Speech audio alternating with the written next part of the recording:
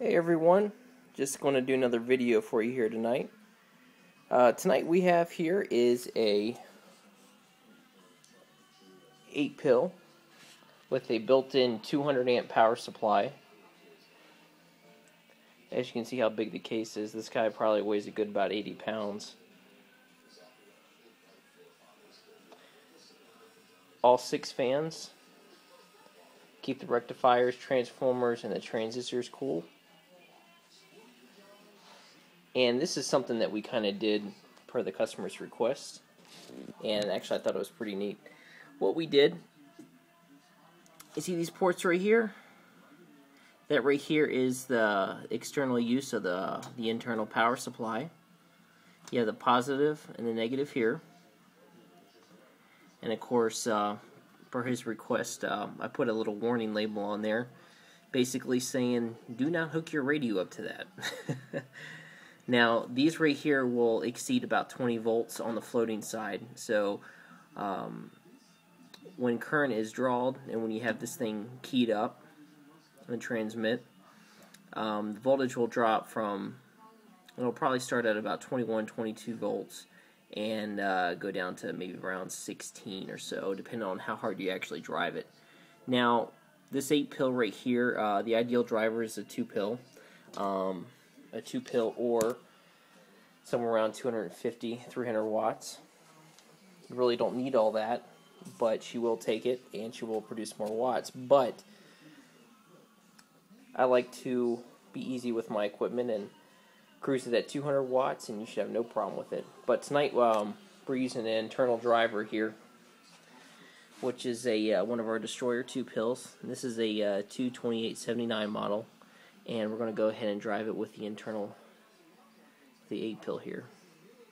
Okay, and what we went ahead and done is um, we have the 2 pill actually hooked up to its own power supply.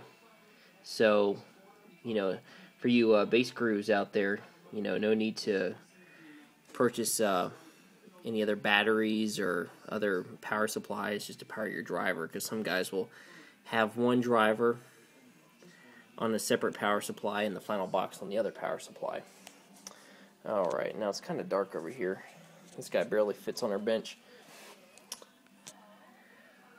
Alright, let's go ahead and flip her on there. Now, she has a uh, digital LED voltmeter that's going to be reading the current. And uh, as you see, the uh, the more current we're going to pull off this guy, the uh, you'll see it start to drop down around the 16 volts or so. And pretty much this guy has all the bells and whistles on it. Here we have sideband. And here we have your preamp basically amplifier for your receive.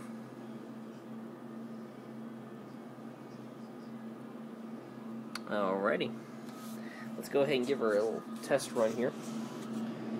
We're going to be using a single final unit in Washington. It does about 30 watts on output. Nothing crazy. Alright, we're going to go to our uh, LP100 here.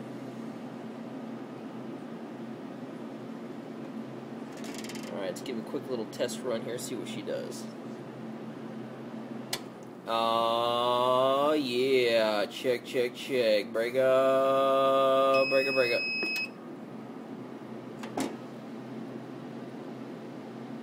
There we go.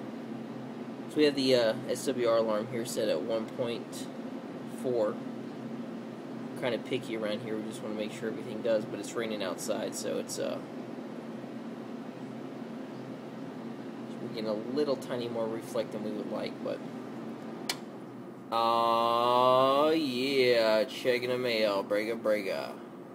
It's about 1900 right there.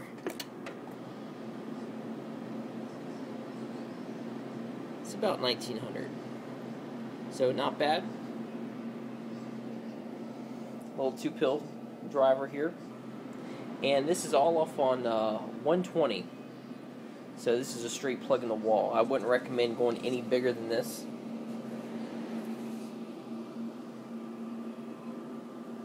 But if you guys had any questions or uh, thinking of a custom box on down the road, feel free to drop us an email at destroyeramps at AOL.com. And you can also reach us here on our website at destroyeramps.com. Hope you guys enjoyed. 73rds.